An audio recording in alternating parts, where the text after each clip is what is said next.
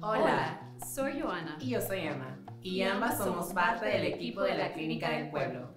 Hoy queremos hablar sobre algunos de nuestros derechos sexuales y reproductivos.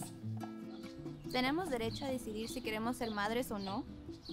Sí, todas las mujeres tenemos derecho a decidir sobre la maternidad de manera intencional, por elección, voluntaria e informada.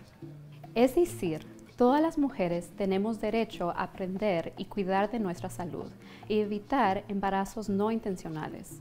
Eso incluye además el derecho al cuidado prenatal y partos libres de negligencia, abuso físico y falta de respeto. También quiere decir que tenemos derecho a esperar de nuestras parejas a practicar la corresponsabilidad con el cuidado del hogar y de la familia.